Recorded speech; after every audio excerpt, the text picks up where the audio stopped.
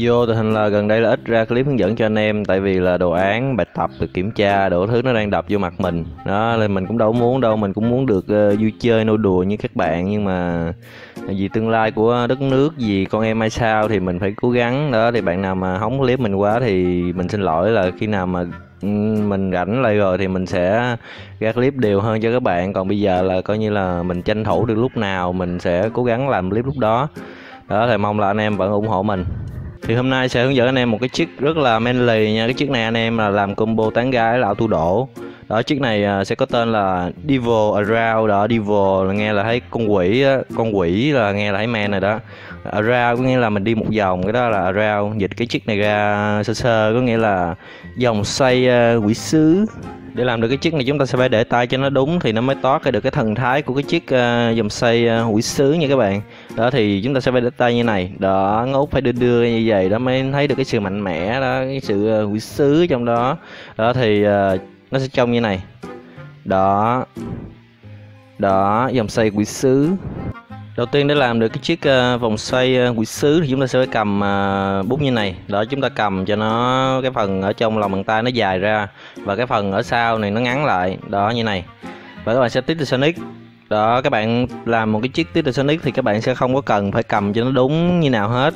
Nhưng mà các bạn đang làm một cái chiếc khác thì các bạn sẽ phải cầm cho nó đúng từ đầu thì cái phần sau nó mới không có bị kẹt nha các bạn. Nó sẽ đi như này. Đó, nó sẽ lăn lên trên cái ngón ừ, ngón gì đây? À, ngón trỏ và ngón giữa lăn lên như này đó. Lăn lên. Lăn lên và chúng ta sẽ làm ở cái dạng là palm down tức là tay úp nó sẽ trông như này. Đó. Đó. Đó. Và sau khi tới đây rồi chúng ta sẽ làm một chiếc đó là shadow shadow nó sẽ trông như này. Đó. Đó. Shadow sẽ trông như này đó chiếc ờ, uh, shadow dịch ra nghĩa là là bóng nha. Ờ, uh, shadow bóng là nó rất là phù hợp với chiếc uh, dòng xoay uh, quỷ sứ nha các bạn. Đó thì nó sẽ đi như này. Đó thì uh, ghép hai cái lại nó sẽ như này. Đó. Đó. Thì khi mà các bạn uh, shadow lên rồi chúng ta sẽ khép háng lại chúng ta sẽ khép háng lại để cho nó toát được cái sự quỷ sứ trong đó nha nó sẽ đi nó sẽ kẹp lại như này. Và chúng ta sẽ mở cái khe này ra để cho cái bút nó lọt vào cái khe này. Nó sẽ đi như này. Đó nó sẽ rơi vào cái ngón này thì nó mới đúng là dòng xoay quỷ sứ nha các bạn. Đó như này. Đó. Mình sẽ làm uh, chậm lại cho các bạn xem. Đầu tiên chúng ta sẽ tiếp Sonic lên.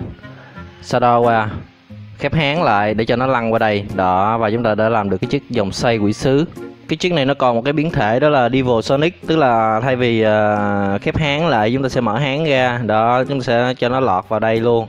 Đây chính là Devil Sonic.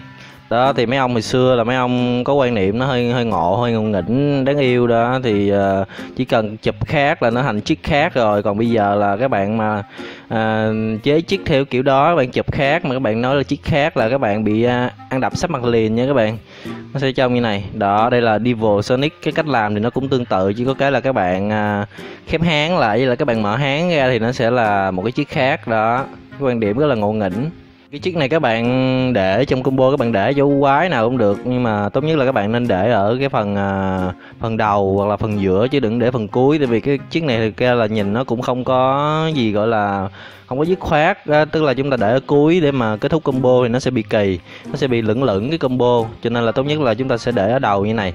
Đó như này.